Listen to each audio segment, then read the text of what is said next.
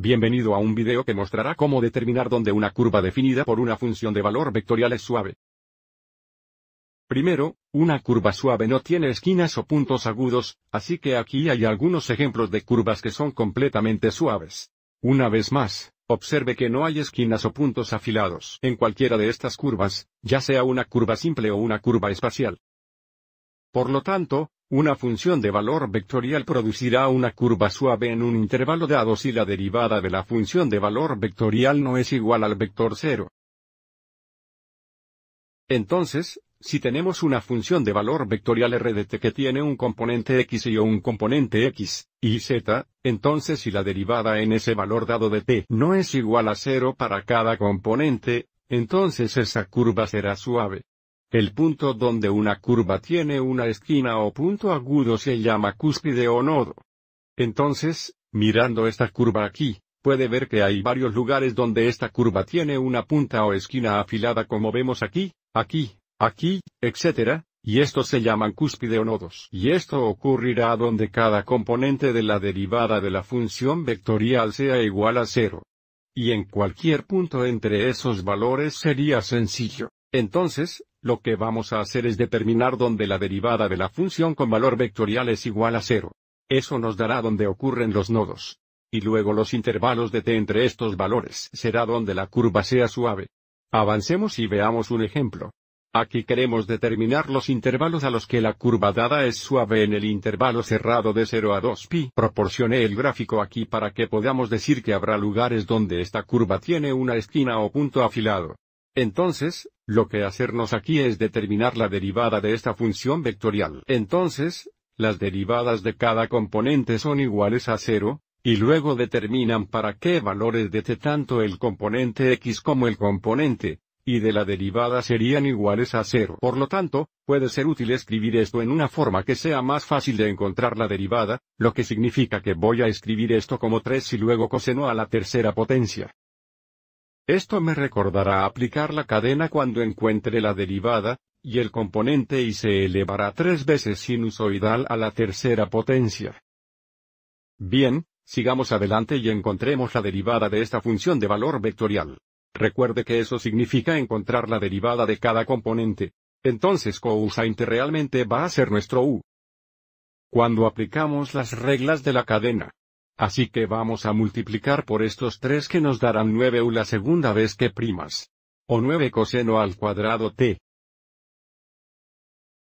Y luego b se suprima la derivada del coseno t va a ser seno negativo t.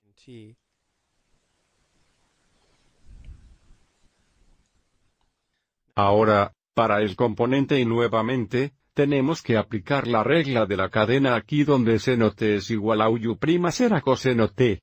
Entonces vamos a tener 9 seno cuadrado t veces coseno t. El coseno es primo. Avancemos y limpiemos esto.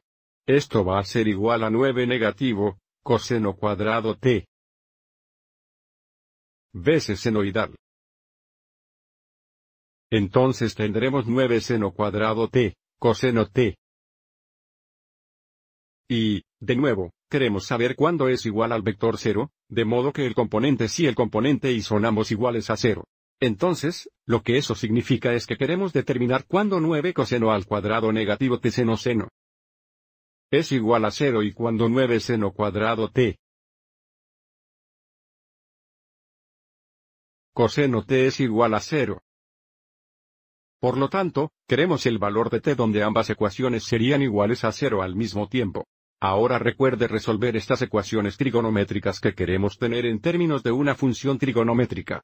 Entonces, usando la identidad coseno cuadrado más seno cuadrado igual a 1 podemos reemplazar el coseno cuadrado t con 1 menos seno cuadrado t.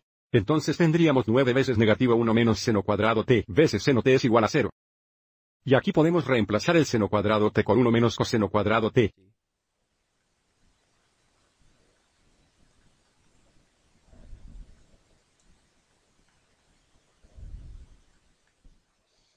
Entonces, usando esta ecuación aquí, queremos saber para qué valores de t sería 1 menos seno cuadrado t igual a 0. Y cuando seno t es igual a 0. Y aquí queremos saber cuándo 1 menos coseno cuadrado t es igual a 0, y cuándo coseno t es igual a 0. Sigamos adelante y mueva el seno cuadrado al otro lado que queremos saber cuándo 1 es igual a seno cuadrado t. Entonces, si raíz cuadrada en ambos lados queremos saber cuándo más o menos 1 es igual a seno t. Entonces, un intervalo de 0 a 2 pi seno sería igual a 1 en t igual a pi sobre 2. Y seno t sería igual a 1 negativo en 3 pi sobre 2. Y luego, para un seno igual a 0, eso ocurrirá en 0, pi y 2 pi.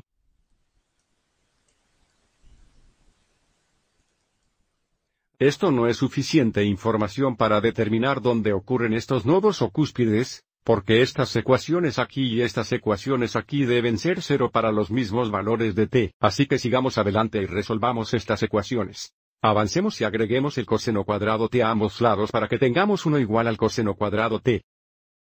Nuevamente vamos a la raíz cuadrada a ambos lados de la ecuación. Por lo tanto, queremos saber cuándo más o menos 1 es igual al coseno t. Bueno, el coseno es igual a 1 en 0 y 2 pi. Y el coseno es igual a 1 negativo en pi radiantes. Y luego el coseno t es igual a 0 en pi sobre 2. Y también a las 3 pi sobre 2.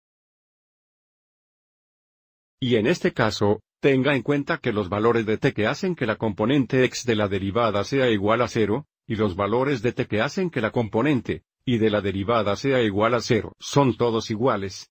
No siempre es el caso, pero es el caso aquí. Entonces, estos son los valores de t donde la derivada de la función de valor vectorial es igual al vector cero. Por lo tanto, todos los valores entre estos la curva serían agradables y suaves. Avancemos y llevemos esta información a la siguiente pantalla. Teníamos t es igual a cero. t es igual a pi sobre 2. t es igual a pi, 3pi sobre 2 y 2pi.